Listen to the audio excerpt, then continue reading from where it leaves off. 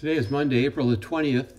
We're going to go through the same set of uh, data that we always go through, but we're going to, this time we, the cloud is really starting to um, have an effect on a lot of the stocks and on the S&P. Volume, we'll look at the uh, our, our volume bar charts later, but the Dow started moving up in the morning and then came the news, well overnight we had a problem with the price of oil, but then came the news that that um, that the people trying to close out the futures were unable to get any bids, and so the price of the current month's futures dropped almost to zero. Um, people who own the futures couldn't sell them. So the long-term futures, take a look at those, and you know they're not so bad. But the short-term futures are indicative of the fact that you know nobody's driving. Uh, there's fewer trucks on the road. There's less commerce taking place.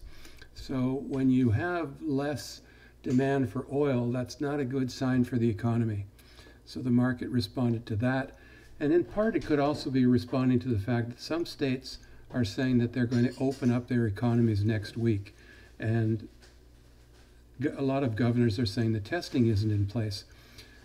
Less than 0.1% of the population has been tested right now for COVID 19. So you decide if you think that it's safe to go shopping again when in your state they open up the economy.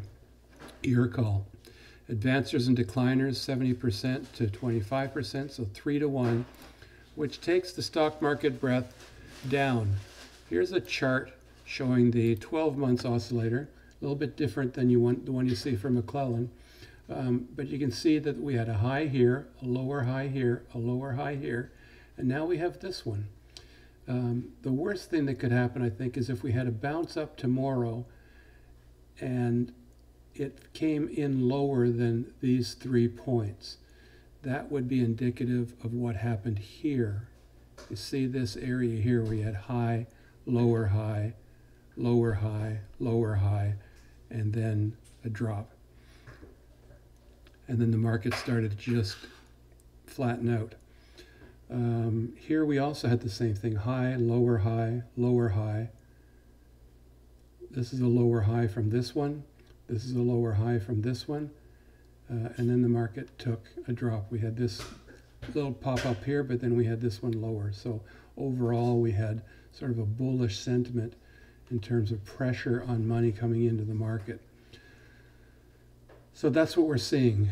Um, if we look at the advancers to decliners, but only look at the current 12 months, we see a lot of volatility. What we saw in 2019 when the market was just churning beautifully and we had this so-called great economy and the Dow just kept making new records, is we had advancers and decliners within a fairly decent range. But now we've got extremes. We've got some days where the advancers, less decliners, are over 3,000, or they are, um, sorry, they're over over 2,000, or they're under 2,000. We didn't see that kind of volatility back here. Look in here, all of 2019 kept within this line and this line. And that is not the case here. So we're looking for this to re return back to some sense of normalcy. Now let's look at the volume. Today's volume was pretty much uh, a lot of selling, but our volume was as low as any days last week. The um, advancers and decliners looked something like this. So a little bit like we saw last Thursday, very similar to last Thursday, just lower volume. Now let's look at how the cloud is affecting things. If we look at the S&P, we're still in a Gartley pattern. This is a bat, or an alternate bat pattern. A bat would have had B come up to 50%, an alternate bat is 38.2. We stayed above the 50 extended moving average, but we dropped below the 50 simple moving average. We touched the cloud and got rejection. So the cloud is going to be important for the S&P. This is when you want to break through the cloud when it's the resistance is the thinnest. Um, it's going to get harder as the week goes on. Uh, we look at Apple, very similar. Apple has now had one, two, three, four, five days of rejection of the cloud. Same story here. You don't want to wait until we get out here when resistance is going to be very, very difficult. So Apple is fighting with the cloud. Um, Netflix. Netflix has made its Gartley. And I wanted to show you this one on Friday. You could almost say that it made this Gartley pattern, which was the second, the 61.8% extension of X to A, almost made that, but sellers were not waiting for the full completion. They were waiting just below that.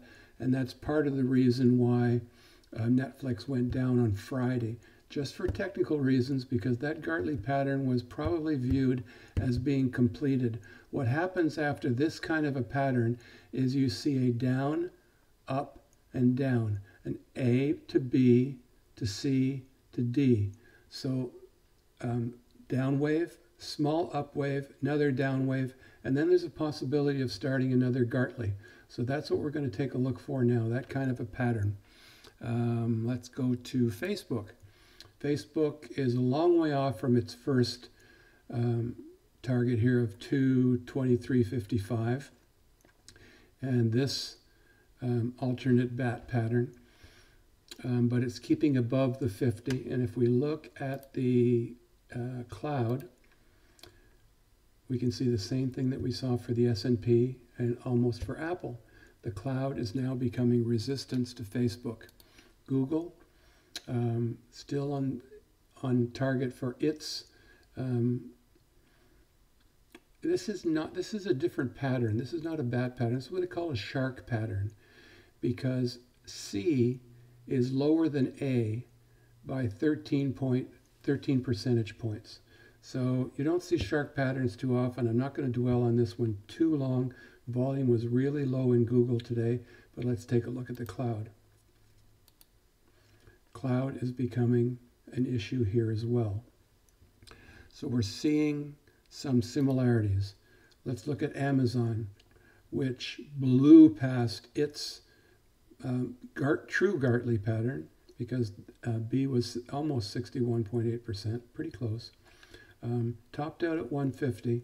Now it's pulled back to 138.2. It's a little bit up today by $30, 1.28%, which is really good in a down market like this.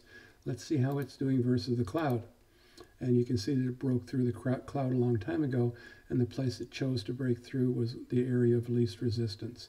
So Amazon is really off to the races. Caterpillar, um, rejection on Friday at the cloud. We did get into the cloud today, and the bottom of the cloud was used as an area of support. So Caterpillar didn't do that badly today. This is a doji where the price finished in between the high and the low. So buyers and sellers sort of just walked away, both content that neither one was able to win the day. Um, it's Gartley target.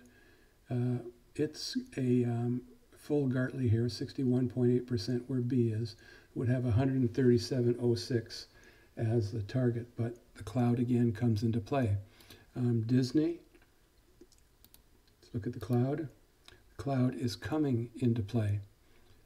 Uh, Home Depot, Cloud is definitely coming into play, but very little resistance. So there is a really good opportunity for Home Depot to make a recovery today. Now we finished down $2.54, but we had a bit of a choppy day. And I got out of 100 shares that I bought last Thursday with a short call. I just don't want to be as exposed to Home Depot as I currently am. That would give me like 800 shares. So I'm down to um, 700 shares, all of them covered with Home Depot. Let me just double check that to make sure. Um, 700 shares with seven short calls, two in May, one in June, and one in September. Uh, let's see what else have we got to look at here. Let's look at the banks because the banks probably didn't do too well today and you can see that Bank of America down 3%, Goldman Sachs 1.5, JP Morgan 3%. So this is telling you also the, about some nervousness in the economy. Citigroup down 2.8%, uh, U.S. Bancorp 2.3%, and the XLF mutual fund of all of the banks was down 1.5%. Um, NVIDIA. NVIDIA is an exciting stock. Let's look at it relative to its cloud. And much like Amazon, it broke through the cloud, tried to get through at the weakest part, couldn't, fell below the cloud, and then just popped up, used that flat spot as, um, as a place to anchor, get support, and pop up. So strong stock. Um, I'm st- I've still got an eye on NVIDIA. A little bit of a pullback to the 8 EMA might be an opportunity. So let's create an alert here. When it touches the 8 EMA, I want to get an alert. And then I'm going to take a look at uh, going long, but it'll probably with be with September spreads. Um, remember we talked Friday about sell in May and go away.